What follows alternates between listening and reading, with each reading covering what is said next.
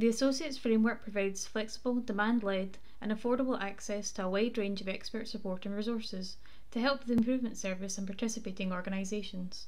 This includes employee engagement and communications. These associates have experience of working in staff engagement and communications and delivering against both individual objectives and agreed operational priorities. They are able to support the effective management of large scale change providing professional advice and tools to managers so that key information is communicated to staff in a timely and consistent manner. They have the capacity to deliver employee engagement surveys and for providing support and mechanisms to help managers and teams take action based on feedback received.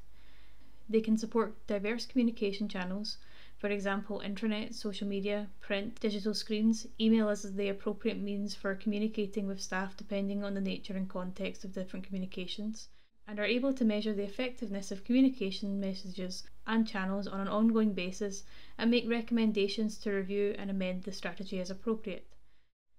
These associates can develop and implement employee engagement and communication strategies which support the delivery of strategic priorities, ensure key messages are communicated consistently, and encourage two way communication and feedback.